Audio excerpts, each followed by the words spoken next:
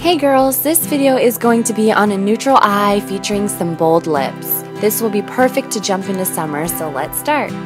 I'm going to be using the Naked 2 palette for this tutorial and first I'm going to start out by taking Booty Call and putting it in the inner corner and the middle of my eye. I'm next going to take the color Suspect and put it all over my eye as well and also going to highlight my brow bone with Foxy. Now I want to define my crease just a little bit so I'm going to take the color Tease and just basically put it in the socket of my eye bone. And this doesn't have to be perfect guys, just put it in your crease and now I'm deepening it with the color Busted, if I'm not mistaken, and just making it look a little bit deeper and also dragging it a little bit on my lash line. I want my eyes to be neutral because my lips are going to be so bold.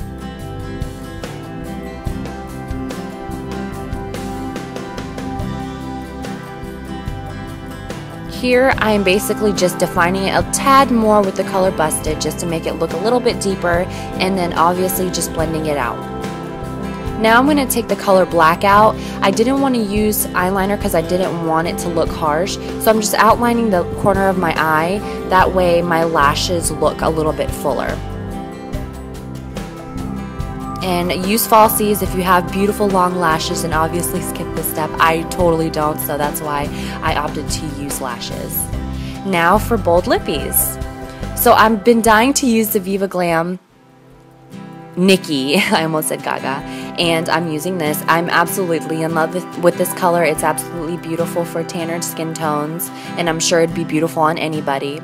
Um, this, with this lipstick though, I decided to dab it on because as you can see, it's kind of drying. So I dab it on and then you'll find see me using my finger. So I just use my finger.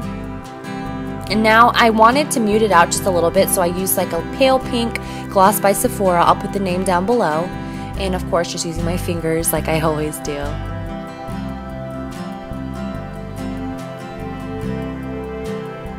Alright, and this is the finished look, guys. I hope you guys enjoy it, and if you try it out, please post it on my Facebook page. I would love to see.